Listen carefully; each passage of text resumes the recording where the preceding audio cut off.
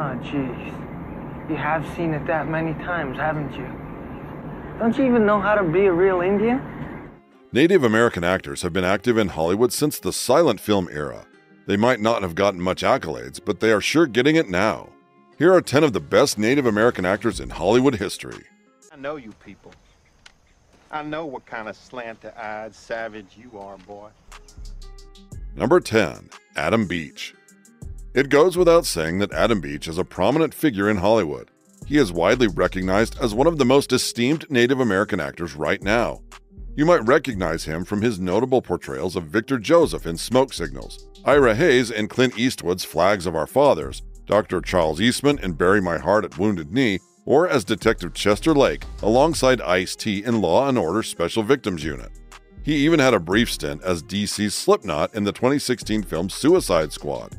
Sadly, his venture into comic book roles was short lived due to his character's swift demise, but you already get the idea. He is a recognizable face in Hollywood. So far, his career boasts over 60 feature films and nearly 50 television titles and series episodes so there is no doubt that Beach has left an indelible mark on the entertainment industry. So let's delve into his background, shall we?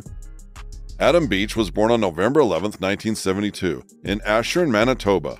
He was raised on the Dog Creek First Nations Reserve with his two brothers. His parents were Sally and Dennis Beach. Notably, Beach is of Saulteaux Anishinaabe descent. Now, this is a branch of the Ojibwe nations within Canada. The Saulteaux derived their name from the French term meaning people of the rapids. They were traditionally hunters and fishers who had maintained extensive trading relationships with French, British, and later American settlers. You could say that this is a reflection of their historical location around Sault Ste. Marie. Historically, the Saulteaux inhabited regions around Lake Superior and Lake Winnipeg, including present day Sault Ste. Marie and northern Michigan. It was pressure from European settlers that gradually pushed them westward to Manitoba, Saskatchewan, Alberta, and a community in British Columbia. Forced to relocate to less fertile lands, they managed to retain much of their assigned territory and reserves, escaping European Canadian competition for their lands. Today, most Saulteaux reside in the Interlake District, Swan River, Duck Bay, Camperville, southern Manitoba, and Saskatchewan, particularly around Kamsack. So, how does a boy from Sault Ste. Marie make it into Hollywood? For starters, he did not have it easy as a child. Tragedy first struck when his mother was killed by a drunk driver. This was then followed by the drowning of his alcoholic father weeks later. Beach and his two brothers were taken in by their grandmother and later by their uncle and aunt in Winnipeg. It was there that Adam found solace in drama classes and started acting in local theater productions. Since then, he has made a name for himself as a Native American actor. His portrayal of Ira Hayes in the Academy Award nominated film Flags of Our Fathers was so outstanding that it earned him two nominations for Best Supporting Actor, and that was not the only time he stood out in a cast. He has also received three nominations for his performance in Bury My Heart at Wounded Knee in 2007. He even received a nod from the Golden Globes. To crown it all up, word in the street is that he hopes to one day become an appointed leader of his Lake Manitoba First Nation. Makes my heart sad. A world without human beings has no center to it. Number 9. Chief Dan George. Chief Dan George made history as the first Native American actor to be nominated for an Academy Award. But of course, this is not the most interesting thing about him or his ancestry. He gained international fame for his portrayal of Old Lodgeskins in Little Big Man. He was 71 years old at the time, and he earned both an Academy Award nomination and a Golden Globe nomination for his outstanding performance in the film. Interestingly, he continued his career well into his later years, and George appeared on various television shows such as Bonanza, Kung Fu, and The Incredible Hulk. In recognition of his contributions to cinema, the Canadian Postal System honored Chief Dan George with a postage stamp in 2008. This was part of the Canadians in Hollywood stamp series. One thing about Chief Dan, he was always praised for his natural dignity and warmth. Both audiences and critics alike will attest that he always left a lasting impression in his films born Geswanu Salhoot. Chief Dan George was a respected leader of the Tsleil-Waututh Nation. Now, this is a Coast Salish band whose Indian reserve lies on Burrard Inlet in the southeastern part of the district of North Vancouver, British Columbia, Canada. Previously identified as the Burrard Indian Band, the Tsleil-Waututh Nation comprises the Coast Salish people. The Coast Salish speak a certain downriver dialect of the Halkomelem language. They are closely related to neighboring nations like the Squamish and Musqueam. One difference, though, is that they maintain distinct political and cultural identities. Speaking of culture, let us dive a little deeper. Again, the Coast Salish constitute a collection of ethnically and linguistically connected indigenous communities.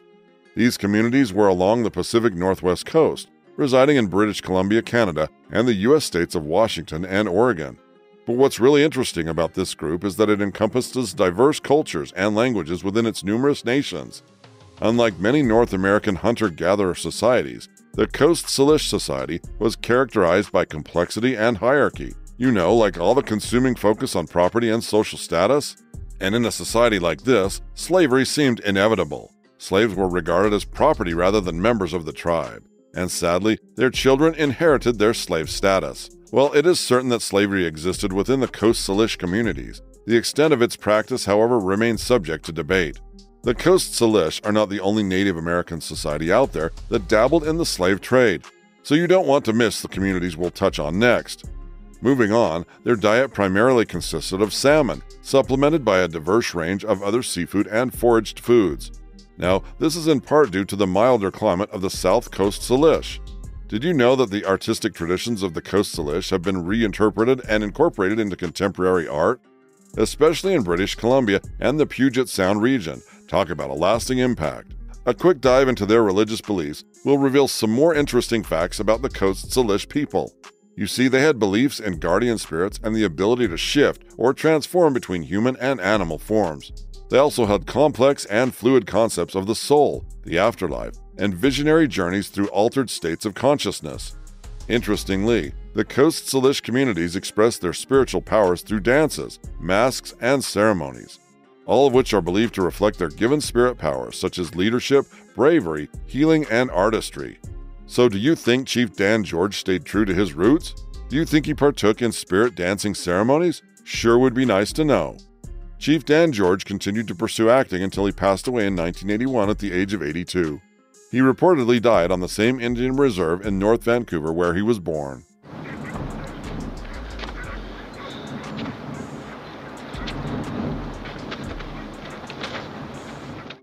Coming up next is an actor from the silent film era who juggled being a chief on and off the screen.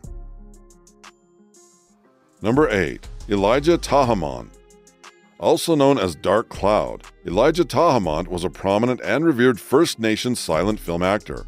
Born on September 20, 1855, Tahamont initially gained recognition as a favored model for artist Frederick Remington. This was a prominent Western illustrator of the late 19th century and early 20th centuries. Remington even penned and illustrated a novel titled John Ermine of Yellowstone, a novel that was said to be inspired by Tahamont's image. By 1910, Tahamont ventured into the film industry. Adopting the name Dark Cloud, he would join American Mutoscope and Biography in New York City. He made his screen debut during the era of Eastern Westerns and also collaborated with renowned director D.W. Griffith and cinematographer Billy Bitzer. Other notable film roles included appearances in What Am I Bid, The Woman Untamed, The Birth of a Nation, and The Dishonored Medal. In contrast to later westerns portraying Native Americans as dramatic and prone to conflicts, the early films Tahamont was a part of portrayed Native Americans as passive. You could say the early films also depicted them with dignity, as they placed them in serene, almost motionless profiles. These calm and expansive landscapes kind of reflected the lives of Native Americans. All through the 1910s, Dark Cloud appeared in numerous westerns and other films. At some point, he relocated to Griffith's company in the West Coast in 1912. Sadly, he had a brief film career of only eight years, as his life was tragically cut short by the Spanish flu pandemic of 1918. But before his passing, he managed to feature in at least 34 silent movies, and in that time, he gained recognition as Chief Dark Cloud or William Dark Cloud. One thing to note is that Dark Cloud was of Abenaki descent, these are a group native to Vermont, New Hampshire, Maine, and southern Canada. They are a First Nations band government representing the eastern Algonquian peoples of northeastern North America. The Abenaki are indigenous inhabitants of the northeastern woodlands of Canada and the United States. They belong to the Algonquian linguistic group and are a part of the broader Wabanaki Confederacy. The Eastern Abenaki dialect predominated in Maine, while the Western Abenaki dialect was spoken in Quebec, Vermont, and New Hampshire. The name Abenaki exists in various forms, including Abenakwe, Abakivas, Quabanakianek, and Wabanakis, among others. According to accounts in the Jesuit Relations, the Abenaki were characterized as non cannibalistic. They exhibited docile behavior, ingenuity, moderation in alcohol consumption, and the absence of profanity. Abenaki society mirrored that of other Algonquian speaking peoples in southern New England. They engaged in agriculture, establishing villages near fertile river floodplains, while also hunting, fishing, and gathering wild plants and fungi to support their diet. The Abenaki practiced a farming lifestyle, with men primarily undertaking hunting activities while women managed the fields and cultivated crops. Before his passing, Tahamont served as a chief among the Abenaki. Interestingly, Tahamont was often dressed as Hollywood's interpretation of a Plains Indian chief for his theatrical roles. Now, despite being a chief himself, it's worth noting that he did not wear those ceremonial attires he wore in movies in his personal life. This just goes to show Hollywood's tendency to stereotype and homogenize the cultural diversity of native tribes across the Americas. Are you even shocked at that? Now let's see how this star went from suppression in boarding school to advocating for Native American rights. Number 7. Floyd Red Crow Westerman. Floyd Westerman is yet another notable Native American musician, activist, and author. Initially known for his country music, he later transitioned to acting. As an actor, he often portrayed Native American elders in American media under the name Floyd Red Crow Westerman. Westerman was born on August 17, 1936, on the Lake Traverse Indian Reservation. This area belongs to the federally recognized Sisseton Wahpeton Oyate tribe. Westerman experienced cultural suppression at Wahpeton boarding school, but it wasn't all grim news because this was where he encountered Dennis Banks, a future leader of the American Indian movement. This period of enforced assimilation deeply affected Westerman in a way. This was most likely the determining factor that made him embrace and promote indigenous cultural preservation in his later years. After earning a BA in secondary education from Northern State University, he went on to serve in the U.S. Marine Corps. From this point, Westerman began his journey to fame by pursuing a career in music. Yes, before this renowned actor ventured into film and television, he first gained recognition as a country western musician. Through his songwriting, he delved into and scrutinized the European influences on Native American societies. Alongside his solo work, Westerman collaborated with notable artists like Jackson Browne, Willie Nelson, Bonnie Raitt, and others. In the 1990s, he joined Sting on a tour aimed at fundraising for rainforest preservation. He had a good run as an artist, but would in time transition from music to acting. Westerman made his cinematic debut in the 1989 film Renegades. His filmography then expanded to include such roles as Chief Ten Bears in Dances with Wolves and the shaman in Oliver Stone's The Doors. On television, he took on various roles, including Uncle Ray in Walker, Texas Ranger, and George in Dharma and Greg. Now let's back up a bit. Remember his cinematic debut? In the Renegade film, he portrayed Red Crow, the Lakota Sioux patriarch. This is pretty interesting because Westerman was of Dakota Sioux descent. The Sioux Indians were a nomadic and family oriented people. As nomads, they roamed around the Great Plains with their dogs, hauling their belongings. In this society, women took up essential roles like cloth making, hide processing, and wood gathering. No doubt proud of his heritage, Westerman became a renowned advocate that actively spoke and marched for Native American rights.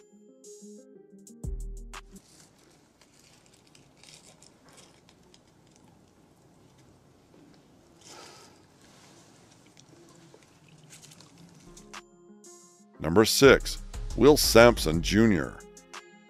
Born September 27, 1933, William Sampson Jr. was renowned for his talents as a painter, actor, and rodeo performer. He is remembered for his portrayal of Chief Bromden. He brought this seemingly deaf and mute character to life in the 1975 classic One Flew Over the Cuckoo's Nest. Another recognizable role was the portrayal of Crazy Horse in the 1977 western The White Buffalo. For nearly two decades, Sampson actively participated in rodeos. He specialized in bronco busting and made quite the name for himself. It was during this time on the rodeo circuit that producers Saul Zaentz and Michael Douglas came into contact with him. Both producers had been casting for their next project titled One Flew Over the Cuckoo's Nest. They were looking out for a tall Native American actor for the role of Chief Bromden. You can already guess where this is headed, right? Sampson stood at 6 feet 7 inches tall, so it was definitely meant to happen.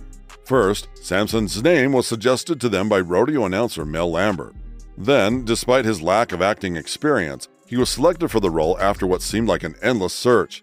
As you can imagine, Sampson's notable performances extended beyond One Flew Over the Cuckoo's Nest. He went on to exceptionally portray roles like Taylor the Medicine Man in the horror film Poltergeist 2, as well as the recurring character Harlan Leaf on the television series Vegas. You would also spot the actor in movies like Fishhawk and Orca. Needless to say, Sampson had a prestigious acting career. We can't forget to mention that he participated in the American Indian Theater Company's production of Black Elk Speaks in Tulsa, Oklahoma. He worked on this prestigious project alongside notable actors like David Carradine, Wes Studi, and Randolph Mantooth. Additionally, he portrayed Crazy Horse alongside Charles Bronson in The White Buffalo. Now, not much is known about his personal life, but one thing seems to be certain Sampson was a proud member of the Muskogee Nation. Sampson was deeply rooted in his cultural heritage. The actor lived in Okmulgee County, Oklahoma, and identified as a member of the Muskogee Nation. This is a tribe that had its origin traced to the southeastern woodlands.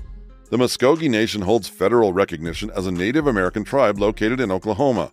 Among its official languages are Muskogee, Yuchi, Natchez, Alabama, and Koasati. Notably, Muskogee is the most widely spoken of these languages. As you can imagine, the tribe's population comprises Muskogee individuals and their descendants.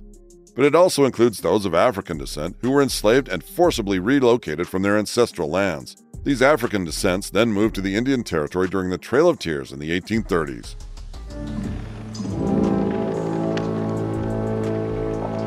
So will it be. I reckon so. Up next is an actor who has furthered the lives of his people and culture in more ways than one.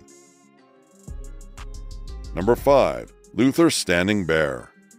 If you thought that was a unique name, just wait till you hear that Luther Standing Bear was also known as Otakate or Plenty Kill. Born in December 1868, he would grow up to become a distinguished author, educator, philosopher, and of course, actor.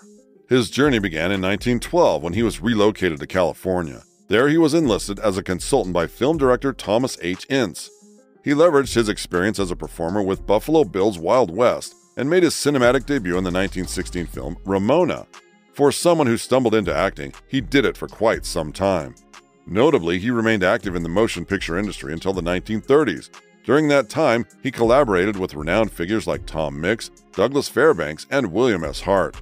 Standing Bear contributed to early Hollywood westerns by portraying both indigenous and non indigenous characters. His extensive filmography includes titles like White Oak in 1921, Cyclone of the Saddle in 1935, and Union Pacific in 1939. However, acting is not the only thing Standing Bear is remembered for. Raised in the rich oral traditions of Lakota culture and educated in white society, Luther Standing Bear uniquely bridged both worlds. He authored historical accounts in English and made sure to detail his people's experiences.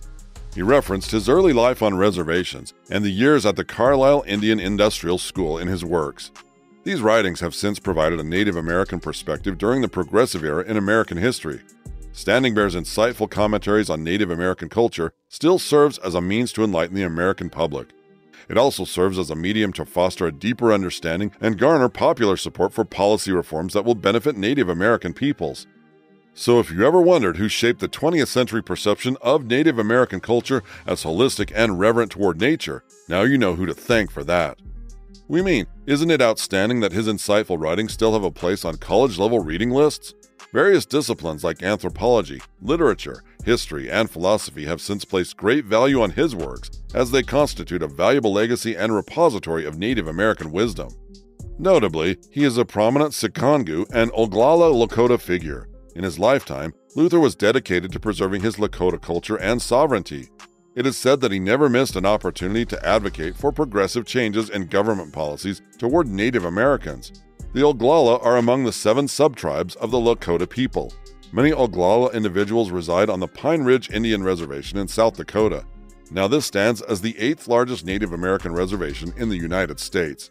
The Oglala are officially recognized as the Oglala Lakota Nation and alternatively referred to as Oglala Lakota Ayate. In Oglala Lakota society, men typically held leadership roles in tribal politics. While some served as chiefs responsible for political matters and leaders in times of war, others were warriors and hunters. However, women played an even more pivotal role in family and tribal life among the Oglala. They were responsible for crafting essential items used by their families and tribes. They also cultivated crops, prepared food, processed game and fish, and even crafted clothing and footwear. To top it all off, women traditionally held authority over food, resources, and movable property. That said, they were essentially the owners of the family homes. Upon marriage, men were traditionally expected to join their wife's family and reside with them. Next is a versatile actor who is currently inspiring the next generation of Native American actors. He came along and wanted to see the real West, so I said, okay. He pays well. We get all dressed up in war paint and go whoop. Number 4. Graham Greene. This 71 year old Native American actor has a remarkable life and career so far. We mean it has been nothing short of notable achievements in film and television. Born on June 22, 1952, in Ohsweken, Ontario, Canada, Greene is definitely one Native American actor who had to make this list. Throughout his career, Greene has portrayed a diverse range of characters across various genres. Whether playing historical figures like in the film The Green Mile, or contemporary characters in television series such as Northern Exposure and The Red Green Show, he has been praised for his ability to bring depth and authenticity to his roles. Want to know the best part of all this? Greene seemingly has a commitment to representing Indigenous people accurately and respectfully in film and television. He has been an outspoken advocate for Indigenous rights and issues, he continues to use his platform to raise awareness and promote a positive representation of Native American cultures in the media. In addition to his acting career, Greene is also involved in community activism and cultural preservation efforts within Indigenous communities. He started off his acting journey in the theater. He started at the Native Earth Performing Arts Center in Toronto. By 1984, he had landed a role in the CBC series Spirit Bay. However, it was his portrayal of Kicking Bird in Kevin Costner's Dances with Wolves in the year 1990 that catapulted his career. This portrayal earned him an Academy Award nomination. Thankfully, he kept the momentum going. Following the breakthrough role, Greene appeared in various films like Thunderheart, Maverick, and Die Hard with a Vengeance. If you know your movies, then you would recall that he has shared the screen with big talents like Samuel Jackson and Bruce Willis. His most recent notable roles in productions include Longmire, Disney's Echo, and as Maximus in Sterlin Harjo's Reservation Dogs. Even critics have praised Greene's performances. While there is always much to say about someone's craft, there has been no denying that Greene possesses the ability to bring characters to life and complement co stars. Take the dynamic between Greene and co star Kevin Costner in Dances with Wolves. It goes without saying that Greene continues to be a respected figure in both the entertainment industry and indigenous communities so it really is not surprising that he inspires a new generation of Native American actors and artists. That said, Graham Greene is an actor of Oneida descent. The Oneida are believed to have originated from the Six Nations Reserve in Ontario, Canada. In the early 1600s, the Oneidas inhabited and controlled approximately 6 million acres of territory in what is now central New York State. It may be safe to say that Greene is still very much as active as ever. We mean he has not relented on the occasional acting endeavors, and there has been no signs that he is slowing down anytime soon. Overall, the life and career of Graham Greene exemplifies the importance of representation and the power of storytelling in shaping perceptions and fostering cultural understandings. If you made it this far, do hit the subscribe button and turn on the notification bell so you don't miss any updates from us. Now let's take a peek into the life of an actor who has been credited with altering the landscape of one reel westerns. Number 3. James Young Deer. Not only did he emerge as an early Native American figure in film, James Young Deer also took on roles as an actor, director, writer, and producer. Today, Young Deer is regarded as one of the pioneering Native American filmmakers in Hollywood. His influence is said to have been so great that he shaped the landscape of one reel westerns during the silent film era. All of his works notably depicted Native American characters in a positive manner. Born in the old Southwest District of Washington, D.C., young Deer was given the birth name James Johnson. He enlisted in the U.S. Navy during the Spanish American War. However, he soon grew disenchanted with the institution due to its evident biases. In 1909, Young Deer embarked on his acting career in New York. He appeared in numerous one reel westerns for various film companies such as Kalem, Lubin, Vitagraph, and Biograph. At Pathé's West Coast studio, he contributed to around 150 silent films, including Who Laughs Last, The Unwilling Bride, and Cowboy Justice. While many of his early works have been lost to history, the Library of Congress recognized White Fawn's Devotion as one of Young Deer's surviving films. The film has also been added to the National Film Registry in 2008. While Young Deer's films have been commended for their portrayal of early Western themes devoid of stereotypes like hostile Indian warriors or wagon train attacks, but something else to note is that he came from a lineage marked by ambiguity. While census records label his parents as mulatto, there was still further evidence to suggest that Young Deer was in fact of Native American ancestry. The Nanticoke people are part of the Algonquian Native American community. They originally inhabited lands around Chesapeake Bay and Delaware, and now reside predominantly in the northeastern United States and Canada. There may still be significant populations in Delaware, Ontario, and Oklahoma. The Nanticoke comprise several tribes, including the Nanticoke proper, Choptank, Assateague, Piscataway, and Dogue, all of which remain a rich cultural heritage. The Nanticoke language stood apart from the Algonquian dialect spoken by tribes residing along the western shore of Maryland and the Potomac River. Sadly, Lydia E. Clark just so happened to be the final fluent speaker of the language, and she passed away in 1856. Presently, endeavors to revive this language are underway. This effort is currently driven by tribal members and linguists associated with Georgetown University. Not enough women on the list? We got you. Next is an actress with a pretty interesting origin story for her career in Hollywood. We ain't doing this no more! No more! We're done with it! Number 2. Tantoo Cardinal. The 73 year old actress was born Rose Marie Tantoo Cardinal on July 20, 1950. She is a Canadian actress with Cree and Metis heritage. Throughout her career, Cardinal has delivered compelling performances in numerous films and television series. Her filmography includes Spirit Bay, Loyalties, Dances with Wolves, Black Robe, Legends of the Fall, Smoke Signals, Hold the Dark, and North of 60.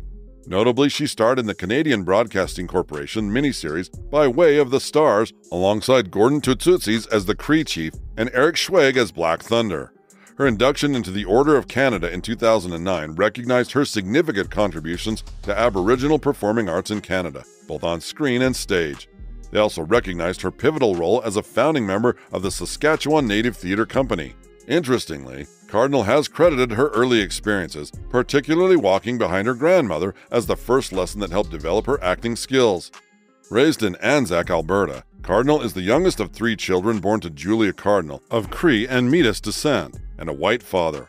Growing up without electricity, she found solace in the wilderness. This fostered her imagination through play. Her grandmother, who affectionately called her Tantoo, imparted Cree language and cultural traditions to Cardinal. She also made sure to impart additional invaluable life lessons about navigating the challenges of being Metis in Canada. The Cree are an indigenous people of North America primarily residing in Canada. They constitute one of the largest First Nations groups in the country. In Canada, over 350,000 individuals identify as Cree or possess Cree ancestry. The majority of Cree people reside north and west of Lake Superior, with significant populations in Ontario, Manitoba, Saskatchewan, Alberta, and the Northwest Territories. Their reserve lands collectively stand as the country's largest among First Nations. Notably, the Lac La Ronge Band in northern Saskatchewan is the largest Cree band and the second largest First Nations band in Canada. Academics have since recognized the Cree embrace of mixed marriages as the reason for bands of diverse heritage. Multilingualism and multiculturalism are still commonplace among the Cree. She is also of Metis origin as well. This means of mixed ancestry in French, and it is used to refer to individuals of diverse backgrounds, such as Cree combined with French, English, or Scottish heritage. Historical accounts from Aboriginal Affairs and Northern Development Canada depict the Metis as descendants of French fur traders and Cree women, or as offspring of English or Scottish traders and Northern Dene women. You are a fool. But at least you are brave. Get off Apache land. But next time, I will kill you. Number 1. Wes Studi. Born December 17, 1947, Wesley Studi is a celebrated Native American actor and film producer from the Cherokee Nation. The 76 year old actor has received widespread acclaim and numerous awards for his portrayals of Native American characters in cinema.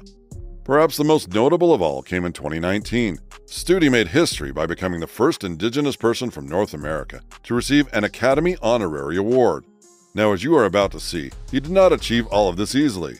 Born into a Cherokee family in No Fire Hollow, Oklahoma, Studi grew up immersed in his Cherokee heritage. He attended Chilocco Indian Agricultural School, graduating in 1964 with a vocational major in dry cleaning.